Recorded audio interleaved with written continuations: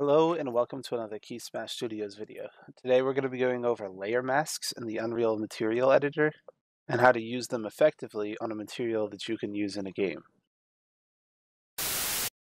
So here I've created a material. We'll go through all the steps to go how to make it, but this is supposed to be a material that's something sort of like an ore vein. It looks a little wonky in the plane form, but if you come over here, we can see it in the form of a rock and it looks all right. What I'm trying to do is trying to avoid something like this rock here that has just a plain base texture. We want to do something that includes a normal map and all this stuff, but you know, has a different image for different parts. And that's where layer mask is going to come in. It's going to let us go from this material onto this material. So let's hop right into this. The first thing we're going to do is create a material, obviously, and we are going to call this layer mask YouTube. So this is a blank material, and I'll pull this right over here. So on this material, we don't actually need to change anything here. We're all good with all these uh, standard base things. Uh, we're going to talk a little bit about layer masks and how to set that up. And in order to do that, we're going to need a couple things. So we're going to need texture samples, 1 minus x's, and lerps. So let's go ahead and put some of these in so we can know what we're talking about. So, so a texture sample will allow us to use an image. We're going to use a few of these. We're also going to use something called a 1 minus x, and that's going to let us say we want 1 less than some value. For example, if we want 1 less than the normal, uh, it's going to let us grab that value. And that's really useful when we're using something called a linear interpolate, or a lerp for short.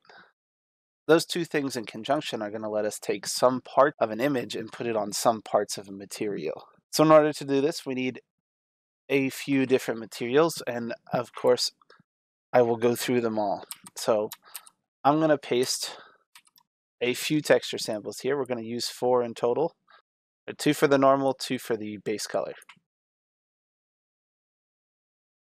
So we have four texture samples here. We're going to be doing something that winds up in this base color, and we're going to be doing something that winds up in this normal. So the first thing we want to do, and I'll go, I'll go through this as simply as I can. When we take our RGB value and we grab the 1 minus x of a normal. So we need to grab a normal and, you know, I think there's a rocky, yeah, rocky normal. Doesn't really matter what this normal is. I just grabbed this because I'm doing a rock, an ore vein type thing here. Um, but this will work with all the different normals. Additionally, we're going to need some type of mask shape here. So let me swap this to the plane so we can see it. What we want to have happen is we want our normal to show up, but only on certain parts of this. So I have made a mask. Uh, it's called Lava Top. Um, I will put a link to this in the description below, just an Imgur link. You're free to use it, do whatever you want with it. Doesn't matter to me. Um, we're going to take this mask and we're going to apply it to this lerp along with this texture sample. So what I mean by this is we're going to grab our normal here and we're going to say we want this as one of our lerp values. And we're going to lerp between our mask that I've given and our normal on the value of 1 minus x. So anytime it's anything less than white, so anytime it's black on our mask, we want to lerp between our normals, if that makes sense. So you can sort of see here, we start to see this mask already pop through. And what we're going to do is we're actually going to copy this and we're going to paste this up here on base color because we're going to do something very, very similar.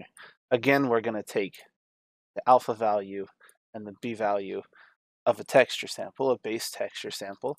So this one we're going for the main thing, so we just need a rock of any type. Uh, rock slate will work and we need a base texture. So I've created an ore vein, which is the same sample. I will also provide this. It's the same thing, only instead of black, it's blue. And that's just to give it a little bit of color. So I'm going to click and drag this into the A part of the lerp, drag it into base color. And what we can see is that it's very, very, very bright right now. Uh, and that's okay. But we can do something really quick to just make that a little bit darker. We're going to drag this down here and we're going to create a blend overlay. Um, and this is just a little trick to make something a little bit darker. We're putting a constant we're blending a constant all black into that blend overlay, dragging that into our color, and it's just going to make it a little more, a little darker. So we can do that again after the lerp if we'd like everything to be a little bit darker, or we can just pick a slightly darker rock texture. Like this basalt one is a little bit darker. There we have a rocky texture that has a mask. You can see that the surface of the material is different on our normal based off of our lerp and as well as our base texture. So we have this ore sort of running through this rock. I just want to do a few more touch-up things. We'll put a constant here, a constant here, and a constant here.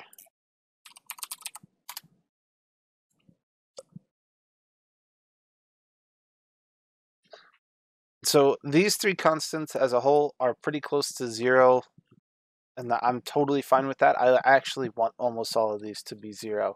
I'm just going to bump them up ever so slightly um, because I do want some specular.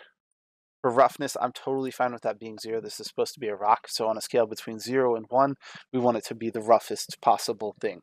Uh, but in terms of metallic, I actually want this to be a little bit higher. So I'm going to do a 0.15 and what that's going to do is just let this ore shine just just that little tiny bit more. And then the very last thing that we want to do just to polish off this material is to do our ambient occlusion. This is going to be the built-in shadows of this material. And we can put, drop this at like 0.85 or something like that. And that's just going to make the shadows punch just that ever so little bit more. So we can go ahead and save this material. I'll pull this back over here. And we're going to go to this rock. We are going to remove this material. Let's say we have an ice material on it. Get rid of this eyesore. So obviously this looks a little bit like a rock, but uh, we want to just see how it see how it looks when we put things on it. And as you can see, with the camera not clipping.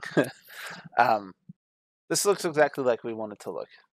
If we click and drag this onto this plane just so we can see it, we can see that when we run around and, and go into play, we get that little bit of shine off the ore just like we wanted. That's why we have our specular just ever so slightly above 1. Uh, we get lots of shadows from our ambient occlusion, as well as it being pretty rough. On our smaller rock, we can see that there's a little bit of shine, things of that nature. If you want this shine to go down, just pull up your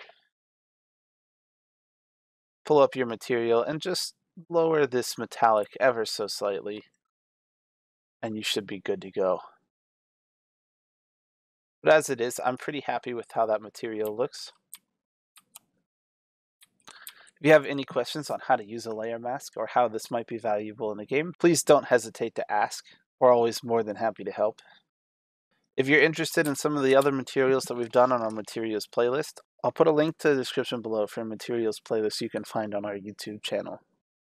If you haven't already, check the link in the description below for our link to our Twitch and our Patreon. By request, we've had a few people ask us if they can support us somehow, so we decided to set one up.